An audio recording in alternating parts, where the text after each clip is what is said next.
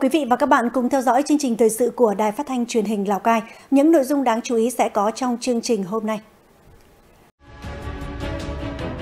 Ban chỉ đạo phòng chống tham nhũng tiêu cực tỉnh Lào Cai tiến hành phiên họp lần thứ tư.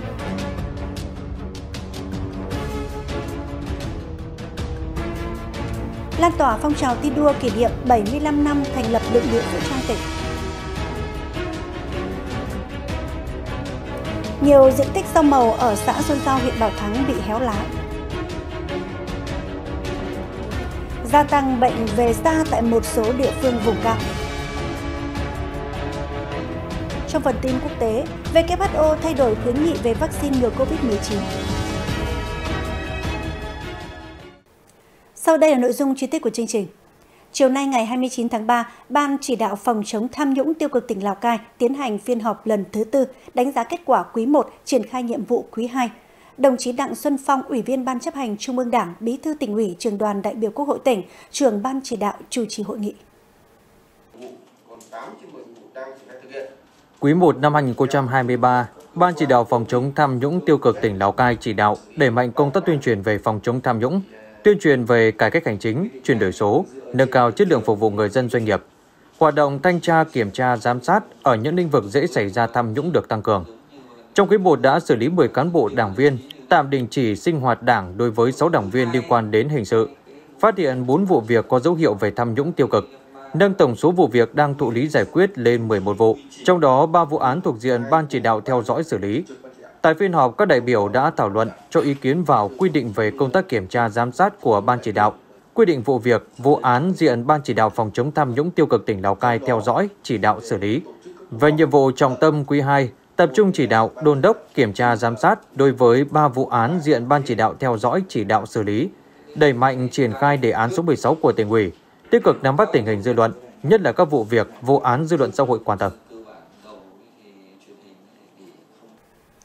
Ngày 29 tháng 3, Thường trực tỉnh ủy tổ chức hội nghị giao ban với các cơ quan tham mưu giúp việc tỉnh ủy, trường chính trị tỉnh, báo Lào Cai. Đồng chí Vũ Xuân Cường, Phó Bí thư Thường trực tỉnh ủy, Chủ tịch Hội đồng Nhân dân tỉnh, đồng chí Hoàng Giang, Phó Bí thư tỉnh ủy, chủ trì hội nghị. Tham dự có các đồng chí ủy viên Ban Thường vụ tỉnh ủy, Thường trực Ủy ban Nhân dân tỉnh.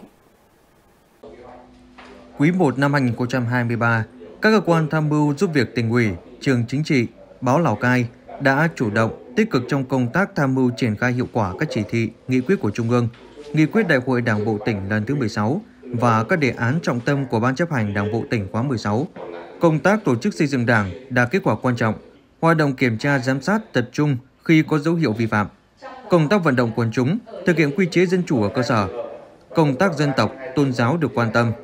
Văn phòng tỉnh ủy tham mưu chỉ đạo đẩy mạnh ra soát, sửa đổi, ban hành các quy định theo hướng đổi mới, tăng cường phân quyền phân cấp, tự chịu trách nhiệm gắn với cải cách hành chính, hoạt động giảng dạy của trường chính trị, bảo đảm tiến độ. Báo Lào Cai thực hiện tốt nhiệm vụ chính trị, bám sát định hướng của Trung ương, của tỉnh, phản ánh kịp thời hoạt động của tỉnh. Tại hội nghị, các đại biểu đã thảo luận đề xuất giải pháp thực hiện tốt hơn nhiệm vụ được giao trong thời gian tới.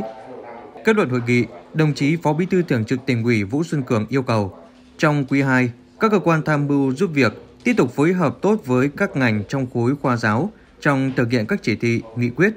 chủ động tham mưu, triển khai các quy định về công tác tổ chức xây dựng đảng, kịp thời nắm bắt dư luận xã hội, đấu tranh phản bác các quan điểm sai trái trên không gian mạng, tiếp tục tuyên truyền phòng chống tệ nạn xã hội. Về ứng dụng công nghệ thông tin, chuyển đổi số, các cơ quan tham mưu giúp việc tỉnh ủy, trường chính trị tỉnh, báo Lào Cai tiếp tục triển khai đảm bảo nâng cao chất lượng hoạt động. Cũng trong ngày, Thường trực tỉnh ủy đã tổ chức giao ban với Mặt trận Tổ quốc và các tổ chức chính trị xã hội quý 1 năm 2023. Đồng chí Hoàng Giang, Phó Bí thư tỉnh ủy chủ trì hội nghị. Cùng dự có các đồng chí ủy viên Ban Thường vụ tỉnh ủy, Thường trực Ủy ban Nhân dân tỉnh, Ủy ban Mặt trận Tổ quốc Việt Nam tỉnh và các tổ chức chính trị xã hội tỉnh. Hội nghị tập trung đánh giá kết quả hoạt động của Mặt trận Tổ quốc và các tổ chức chính trị xã hội trong quý 1, nêu rõ tồn tại, đề xuất giải pháp khắc phục tình trạng tảo hôn và các hủ tục có xu hướng tăng, chủ động nắm bắt tình hình an ninh trật tự cơ sở, hỗ trợ quan tâm đầu tư trang thiết bị nhân lực phục vụ chuyển đổi số, các sở ban ngành, cơ quan phối hợp với tổ chức công đoàn trong công tác phát triển đoàn viên, hội viên.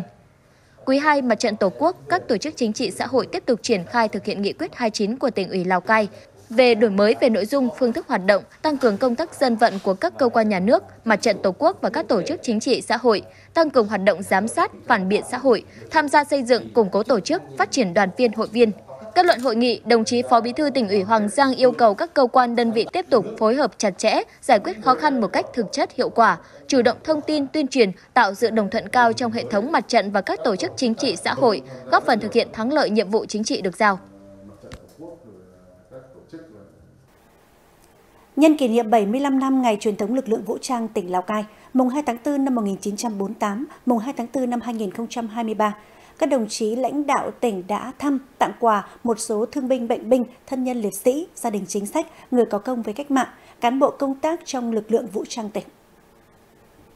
Tại huyện Ba Sát, đồng chí Vũ Văn Cải, Ủy viên Ban Thường vụ tỉnh ủy, Phó Chủ tịch Thường trực Hội đồng Nhân dân tỉnh cùng đoàn công tác của tỉnh, lãnh đạo huyện đã thăm tặng quà năm gia đình người có công tại xã Quang Kim và thị trấn Ba Sát,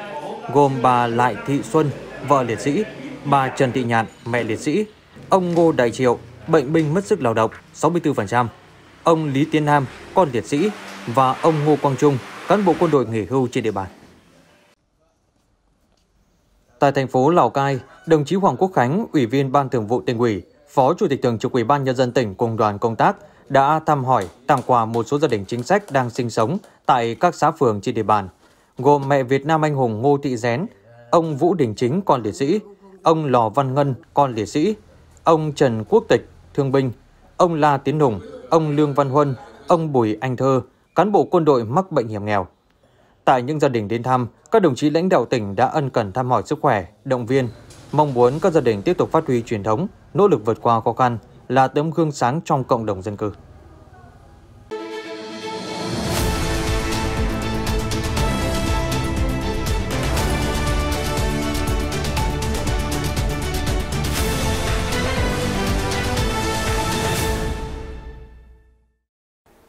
Thưa quý vị và các bạn, hưởng ứng đợt thi đua cao điểm 75 ngày hành động quyết thắng do Bộ Chỉ huy quân sự tỉnh phát động, cán bộ chiến sĩ thuộc các đơn vị ra sức thi đua tạo không khí sôi nổi trong toàn quân. Bằng nhiều việc làm, hoạt động thiết thực, phong trào tạo sức lan tỏa rộng khắp, góp phần thực hiện thắng lợi mọi nhiệm vụ được giao. Tiểu đoàn Bộ binh 1, Trung đoàn 254 những ngày đầu tháng 3, không khí huấn luyện nghiêm túc sôi nổi. Trên gương mặt của những chiến sĩ trẻ đều thể hiện tinh thần quyết tâm,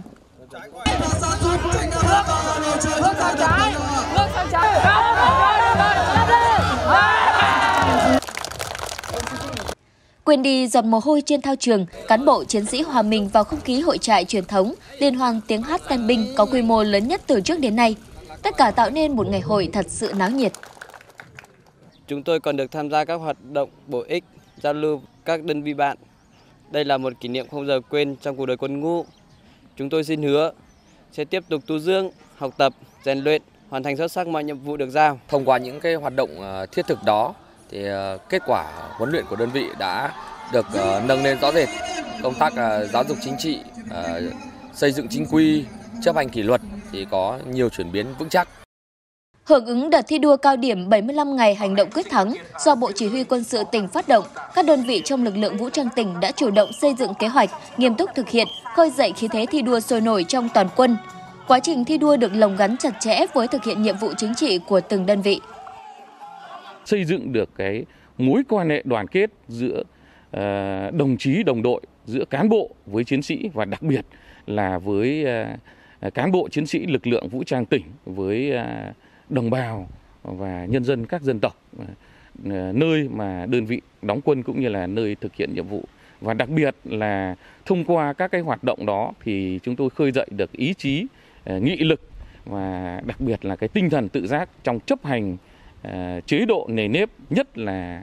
cái tinh thần đoàn kết, cái ý thức chấp hành kỷ luật không vi phạm kỷ luật quân đội và pháp luật nhà nước, hoàn thành thắng lợi các cái nhiệm vụ được giao. Bằng những hành động thiết thực, phong trào thi đua đã và đang khơi dậy niềm tự hào, khát vọng cống hiến của cán bộ, chiến sĩ lực lượng vũ trang trong sự nghiệp xây dựng và bảo vệ Tổ quốc. Động lực từ đợt thi đua đặc biệt đã góp phần xây dựng lực lượng vũ trang tỉnh vững mạnh toàn diện, đáp ứng yêu cầu đặt ra trong tình hình mới.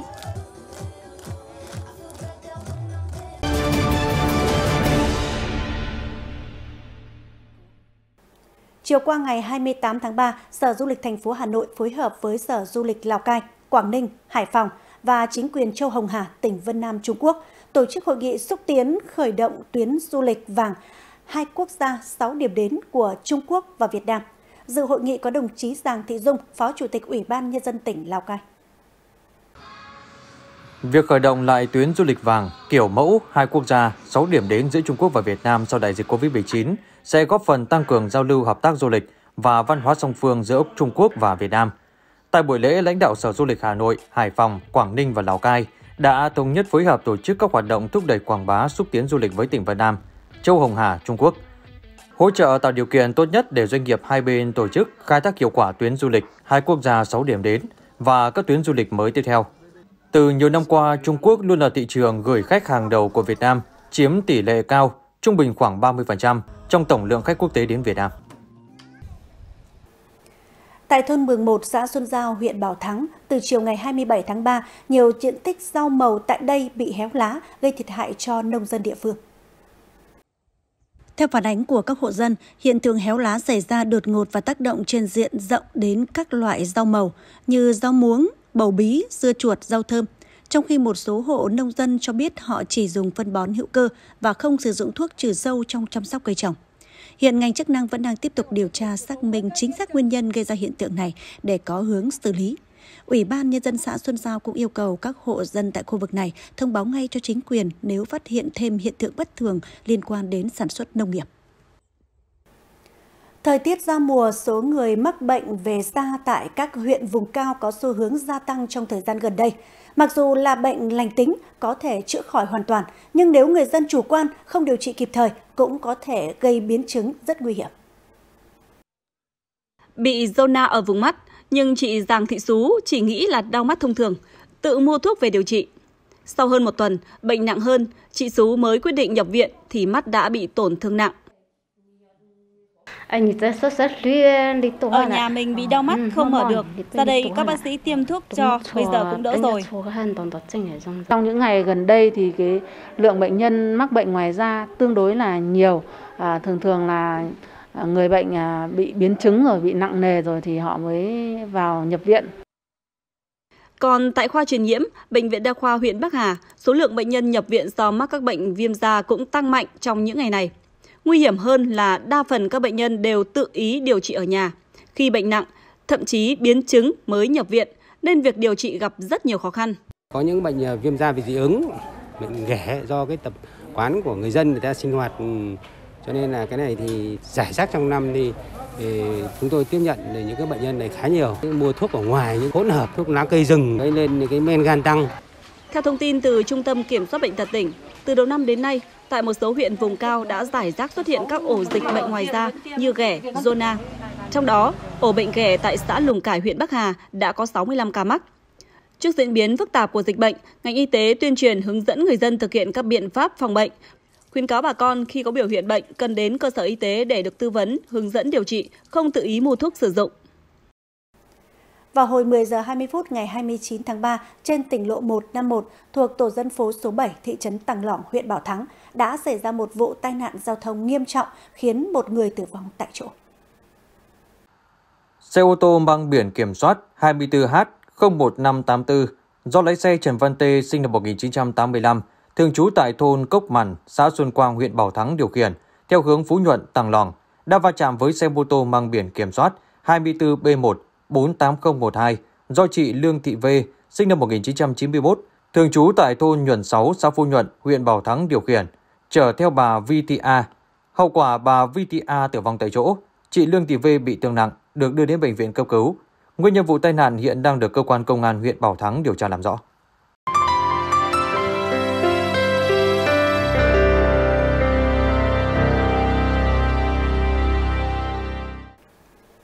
Thưa quý vị và các bạn, cho quyền cho phụ nữ và trẻ em gái để ứng phó và phục hồi sau đại dịch COVID-19 trên địa bàn thị xã Sapa, được Hội Liên hiệp Phụ nữ thị xã phối hợp với các đơn vị tài trợ triển khai giúp phụ nữ, trẻ em khó khăn tại địa bàn ổn định cuộc sống sau đại dịch. Chương trình du lịch cộng đồng thông qua Tổ hợp tác trồng lanh và sản xuất thổ cẩm Tà Phìn tại thôn Can Ngài, xã Tà Phìn là một trong những hoạt động mà Hội Liên hiệp Phụ nữ thị xã hướng đến. Thành lập từ năm 2013 với 15 thành viên, đến nay tổ hợp tác đã có 60 thành viên. Với sự hỗ trợ của dự án, tổ hợp tác đã triển khai các hoạt động như vẽ sáp ong, nhuộm tràm. Không chỉ thu hút khách nước ngoài, nhiều khách nội địa cũng đã chọn hình thức trải nghiệm này để tìm hiểu văn hóa của đồng bào dân tộc Giao nơi đây. À, lần đầu tiên mình được uh, trải nghiệm vẽ sắp ong tại uh, cơ sở của Thảo Sung, mình thấy rất là thú vị, đặc biệt là trong khung cảnh mơ mộng Sapa tuyệt đẹp như thế này. Thực ra vẽ sắp ong thì không hề khó, đặc biệt là có sự hướng dẫn của uh, người địa phương và chúng ta có thể tạo thành những bức tranh uh, theo hướng mẫu của họ hoặc theo mẫu của chúng ta thế này. Ngoài trải nghiệm, du khách còn được thưởng thức các tiết mục văn nghệ, điệu múa đặc trưng do phụ nữ địa phương thể hiện. Tham gia dự án, nhiều phụ nữ ở Tà Phìn không chỉ có thêm thu nhập, ổn định cuộc sống, mà còn góp phần giữ gìn bản sắc văn hóa truyền thống. Họ trải nghiệm xong ấy, giải thích cho du khách hiểu của truyền thống của người Mông mình. Mình muốn chương trình là rõ ràng cho du khách thì họ sẽ hiểu hơn là họ sẽ mong muốn là họ sẽ đến tham quan nhiều hơn là nâng cao vai trò, trao quyền cho phụ nữ và trẻ em gái để phát triển du lịch cộng đồng gắn với bảo tồn văn hóa truyền thống tại Sapa được quan tâm. Việc định hướng và vai trò của tổ chức hội nhằm giúp phụ nữ và trẻ em gái là hết sức quan trọng. Trong đó có tập huấn nâng cao kỹ năng, tiếp cận vốn vay phát triển kinh tế, tiếp tục mở rộng các cái ngành nghề cho chị em khôi phục lại các cái bản sắc văn hóa dân tộc của uh, các cái vùng miền của thị xã Sapa nói chung và các cái xã mà có các cái bản sắc của chị em hội viên phụ nữ nhằm thu hút khách du lịch cũng như là để chị khách du lịch đến với Sapa được trải nghiệm. Với sự hỗ trợ của các tổ chức, sự vào cuộc tích cực của Hội Phụ Nữ đang tạo cú hích giúp cho phụ nữ trẻ em dân tộc thiểu số Sapa dần ổn định cuộc sống sau những tác động tiêu cực của đại dịch.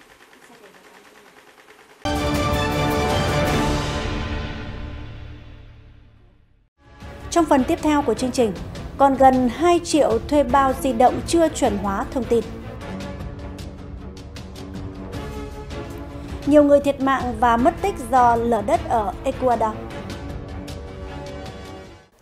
Cục Viễn thông cho biết đến ngày 28 tháng 3 đã có hơn 1,72 triệu thuê bao di động thực hiện chuẩn hóa thông tin, song còn gần 2 triệu thuê bao chưa chuẩn hóa. Sau ngày 31 tháng 3, nếu các thuê bao này không thực hiện chuẩn hóa thông tin sẽ bị các nhà mạng khóa liên lạc một chiều gọi đi, tiếp tục khóa dịch vụ hai chiều vào ngày 15 tháng 4 và sẽ thực hiện thu hồi số điện thoại từ ngày 15 tháng 5 nếu khách hàng vẫn không chuẩn hóa thông tin. Người dân có thể tự kiểm tra thông tin thuê bao chính chủ của mình bằng cách soạn tin nhắn miễn phí theo cú pháp TTTB gửi 1414. Nếu chưa chuẩn hóa, cần khẩn trương đến nhà mạng để được hướng dẫn, hỗ trợ theo quy định để đảm bảo quyền lợi. Theo các chuyên gia bảo mật, lừa đảo sử dụng công nghệ deepfake rất nguy hiểm. Tuy nhiên, có những cách để người dùng nhận biết video sử dụng công nghệ ứng dụng trí tuệ nhân tạo này, từ đó tránh bị các đối tượng xấu lừa.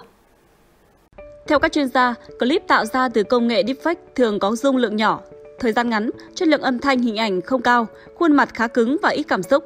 Hình thể của nhân vật trong deepfake ít di chuyển, ít quay ngang ngửa mặt hoặc cúi mặt so với các clip thông thường không có các hành động đưa tay dụi mặt hay che mặt vì AI sẽ xử lý lỗi khi khuôn mặt bị che đi một phần, giọng nói không chân chu hoặc quá đều đều, không ngắt nghỉ.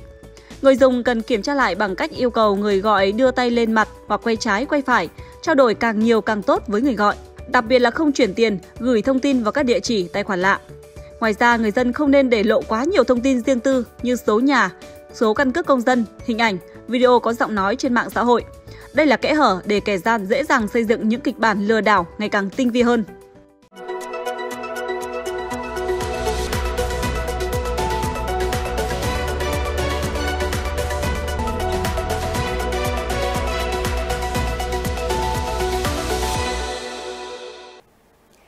Theo sẽ là những tin tức quốc tế ngày 29 tháng 3, Nhật Bản và Mỹ đã ký kết hiệp định mới nhằm tăng cường mạng lưới cung ứng đất hiếm, loại nguyên liệu cần thiết để sản xuất các loại pin tích điện dùng cho ô tô điện. Theo thỏa thuận, các doanh nghiệp cung cấp nguyên vật liệu khoáng chất quan trọng của đất hiếm phục vụ cho việc sản xuất pin cho xe điện tại Nhật Bản sẽ đủ điều kiện nhận các ưu đãi về chính sách thuế của Mỹ. Đây là chìa khóa để củng cố chuỗi cung ứng pin của Mỹ và cho phép các nhà sản xuất ô tô Nhật Bản tiếp cận rộng rãi hơn với khoản tiến dụng thuế xe điện mới của Mỹ, qua đó đảm bảo được một phần lợi thế cạnh tranh với các hãng xe khác. Việc ký kết thỏa thuận mới về đất hiếm nhằm cấu trúc chuỗi cung ứng mạnh trên cơ sở liên kết với Mỹ và các quốc gia cùng chí hướng. Rumani và Ba Lan đang đàm phán với Ủy ban châu Âu EU về cơ chế theo dõi xuất khẩu ngũ cốc của Ukraine, nhằm đảm bảo nông dân địa phương không bị thiệt hại bởi làn sóng nhập khẩu giá rẻ. Thủ tướng Romania và người đồng cấp Ba Lan cho biết chính phủ hai nước đang nghiên cứu các giải pháp với EU. Theo đó, hai bên đang phối hợp thảo luận với Ủy ban châu Âu EC về những cơ chế nên có để thực thi việc truy xuất nguồn gốc ngũ cốc xuất khẩu từ Ukraine và các điểm đến cuối cùng của mặt hàng này. Hồi đầu tháng, EC ước tính nông dân Ba Lan, Romania, Hungary, Bulgaria và Slovakia đã thiệt hại tổng cộng 417 triệu euro do các loại ngũ cốc giá rẻ của Ukraine đổ vào thị trường của họ.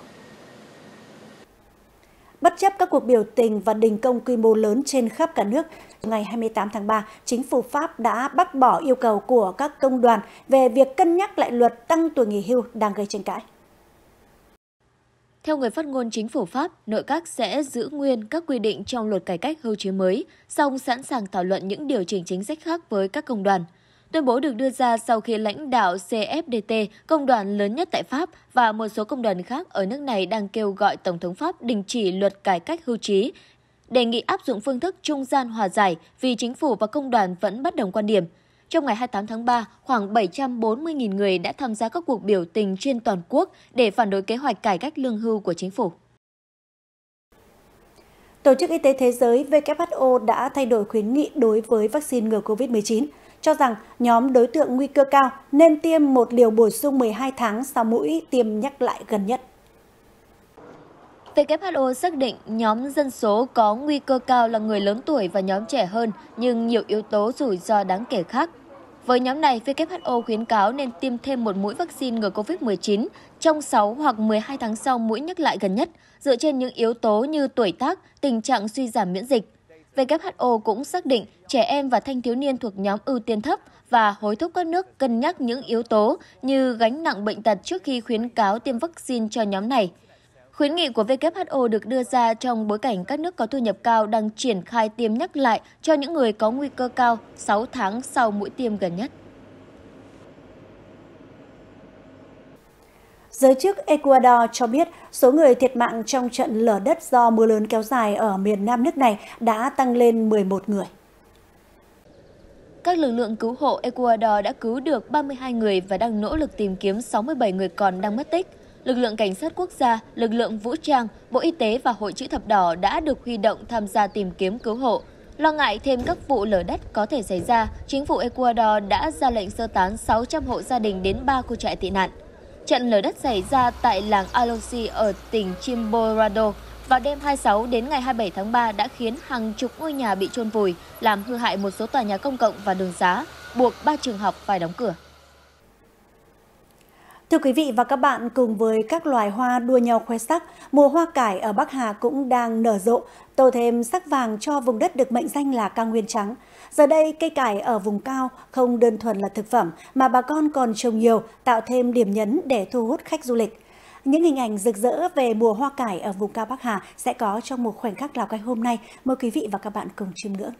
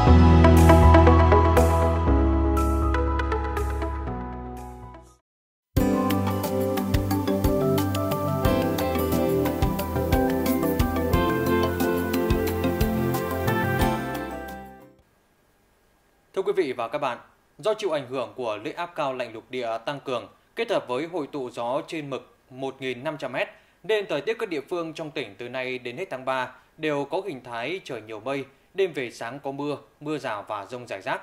Đêm về sáng trời rét, vùng cao trời rét đậm. Theo quan sát, ảnh vệ tinh do Đài khí tượng thủy văn tỉnh Lào Cai cung cấp, thì đêm nay và ngày mai, các khu vực trong tỉnh chịu ảnh hưởng của rìa Tây Nam lưỡi áp cao lạnh lục địa tăng cường, sau ổn định và suy yếu. Vì vậy, thời tiết các khu vực trong tỉnh sáng nhiều mây, mưa rào và rông rải rác, chủ yếu về đêm và sáng sớm. Đến trưa và chiều trời giảm mây, ở vùng thấp sẽ hưởng nắng nhẹ, vùng cao đêm về sáng trời rét đậm. Sau đây là những thông tin dự báo chi tiết cho các khu vực trong tỉnh đêm nay và ngày mai.